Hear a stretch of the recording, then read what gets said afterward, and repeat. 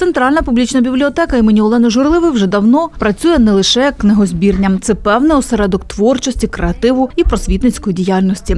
Наразі заклад продовжує співпрацю з міжнародною організацією USAID Ukraine. В цьому проєкті ми працюємо вже другий рік поспіль. В минулому році ми виграли грант і за програмою працювали Вільно хаб, мріємо та діємо.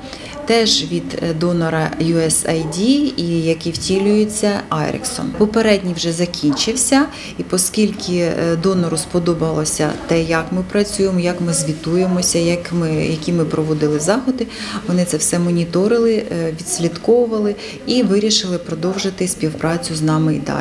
Але в цьому році в нас вже більш тематичний напрямок це кар'єрні заходи для молоді, працевлаштування, пошук роботи. Е, Ми будемо вчити молодь, як писати резюме, як писати мотиваційні листи, супровідні листи.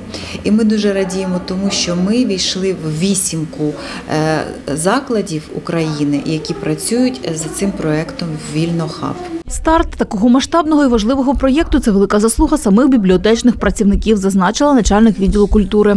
Я би хотіла звичайно подякувати колективу центральної бібліотеки, колективу взагалі наших бібліотек міста, тому що вони ну надзвичайно такі активні, надзвичайно креативні. Вони завжди були такими ем, і, і раніше, а зараз цей воєнний час.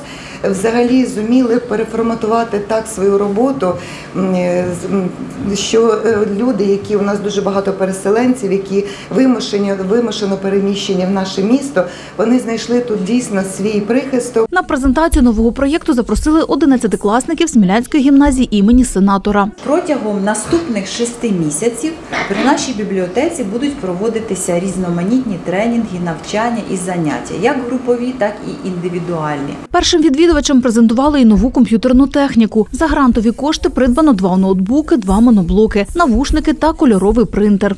Це вся техніка я вам показую для того, щоб ви знали, що можна нею користуватися абсолютно безкоштовно. Приходите до нас в бібліотеку. Ми ще можемо вас пригостити чаєм, кавою і печивом, які також нам надані цією програмою USAID і яка втілюється Айрексом. Єдиною умовою у користуванні цією технікою є обов'язкова реєстрація. Всі перші відвідувачі відсканували QR-коди і пройшли анкетування. Вся робота цього проєкту прозора. Тож по завершенню навчання учасники заповнюють ще одну анкету, щоб грантодавці могли моніторити, наскільки корисною є така діяльність. На першому занятті 11-класники гімназії вчились писати мотиваційний лист. Якщо абітурієнт, який подає е, заявку, будь-який університет набирає там декілька їх е, абітурієнтів набирають однакову кількість балів, починають розглядати мотиваційні листи. І в кого мотиваційний лист е, кращий, той і зараховується. Всі заняття та індивідуальні консультації у рамках проєкту Вільнохаб працевлаштування будуть проводити Валентина Єфремова та Олена Нечипоренко, завідуюча читальним залом. Користуючись нагодою, я запрошую і смілян, і гостей нашого міста, і вимушено переміщених осіб завітати до нас до бібліотеки, скористатися цією технікою, а також отримати і індивідуальні консультації від наших працівників за цим проектом. І це абсолютно безкоштовно.